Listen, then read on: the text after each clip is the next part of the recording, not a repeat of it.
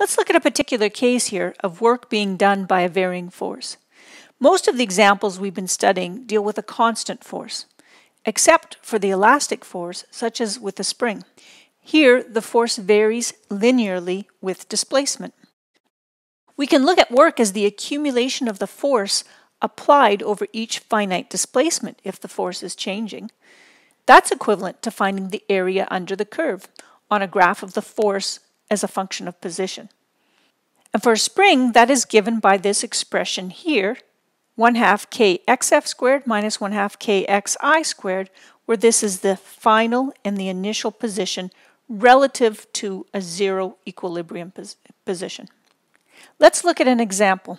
Here we have an example of work being done by a varying force, specifically a spring. So a spring is 17.0 centimeters long when it is lying on a table. One end is then attached to a hook and the other end is pulled by a force that increases to 25 newtons, causing the spring to stretch a length of 19.2 centimeters. What is the force constant of the spring? B. How much force was required to stretch the spring from 17 centimeters to 19.2 centimeters? And C. How long will the spring be if the 25 newton force is replaced by a 50 newton force? So we're told that the spring is originally 7.0 centimeters long. So that's its equilibrium position. And it's then stretched to a length of 19.2 centimeters. This corresponds to a delta x of 2.2 centimeters.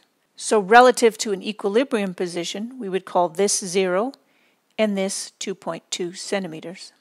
So it took a force of 25 newtons to extend it to a position of 2.2 centimeters.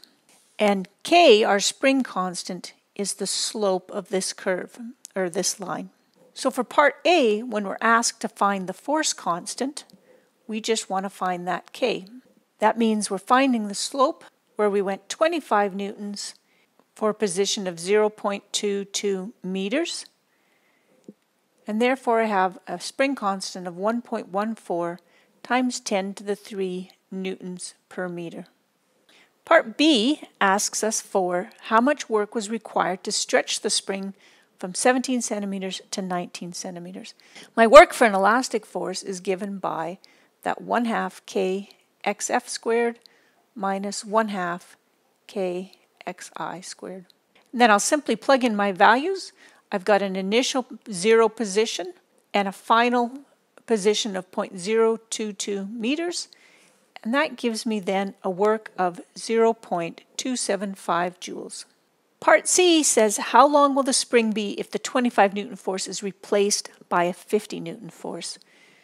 So remember for a spring F equals kx, I'm then asked to find x, which just means I'm taking my force dividing by my spring constant.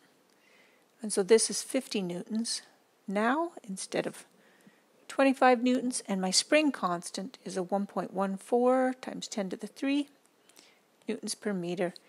And so now I've doubled the force and I get double the displacement. But I want to take that one step further. So you notice I doubled the force and therefore I got double the displacement.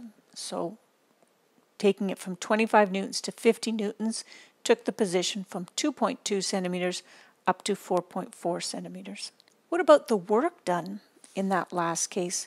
What would the work be for that second position? So you'll notice in this last part that I added, when I doubled the, the force to 50 newtons, I doubled the displacement.